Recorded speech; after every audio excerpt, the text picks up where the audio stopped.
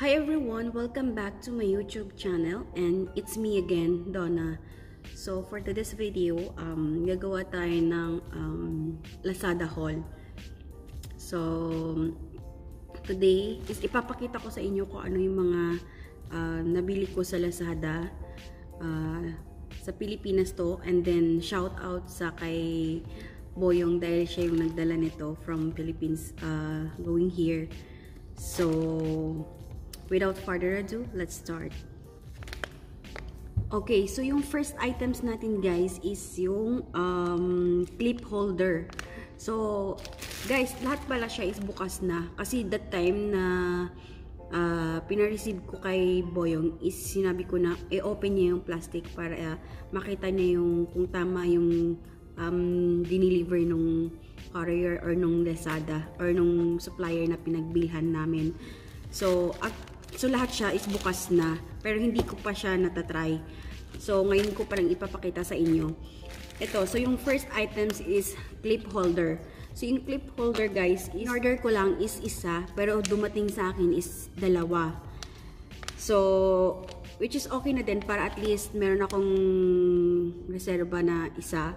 So, yung, yung price ng isa is nasa ano lang siya, nasa 163 plus uh, 50 yung um, 50 pesos yung um, delivery fee. Okay? So, since dalawa yung sanad niya sa akin, so yung pinaka-total is um, 376. Okay? So, ito siya guys.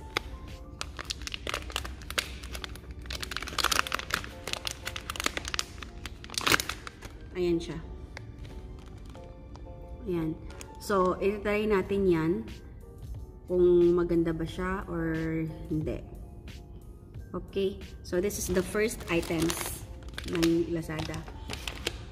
And then, second one is yung tripod. Gorilla. Gorilla tripod siya, guys. So, which is maganda siya.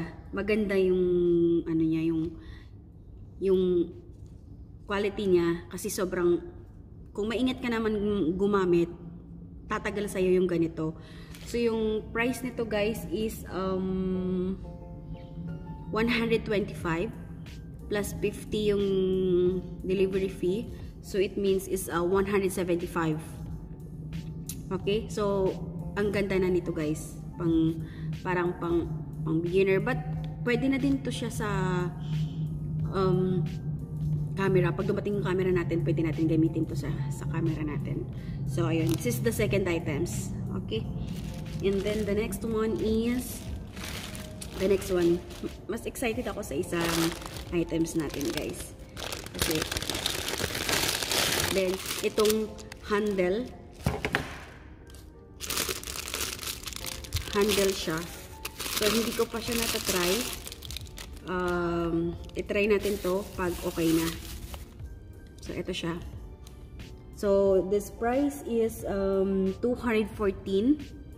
214 plus 50 uh, delivery, delivery fee. So, it means the total is 264. This is our third items. Okay?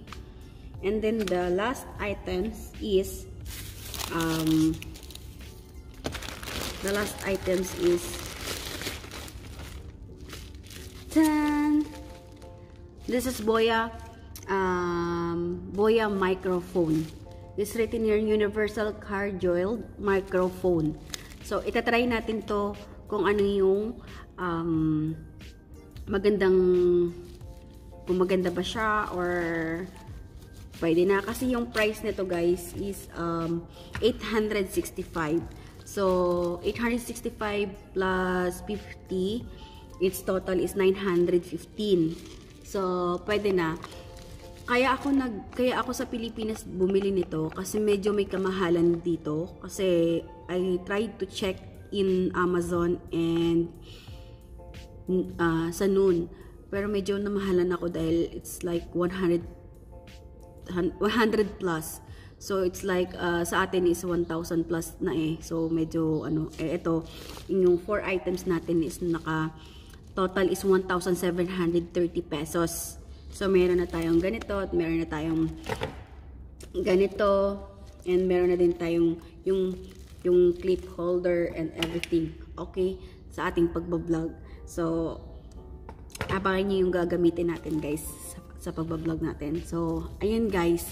Um, i ilalagay ko yung pinaka presyo dito sa ano, ilalagay ko sa link ang mga presyo nitong pinamili ko and then uh, just check it in Lazada kung meron kayong makita. At saka okay naman to guys. Ito yung nagustuhan ko dito. At saka hindi pa naman hindi ko pa naman natatry to. So itatry natin after.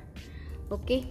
So, yun lang guys. Um, sana eh nagustuhan niyo yung quick video natin sa Lazada haul and gagawa tayo ng maraming video para meron tayong pang-upload or marami, gagawa ko ng madaming video para may pang-upload ako sa YouTube channel ko at meron kayong mapanood. So, ayun lang guys. Thank you for watching. Uh, sa mga hindi pa po nakapag-subscribe, please subscribe my channel and uh, please like and click the bell button to be notified on my next vlog or my next video para happy. Bye!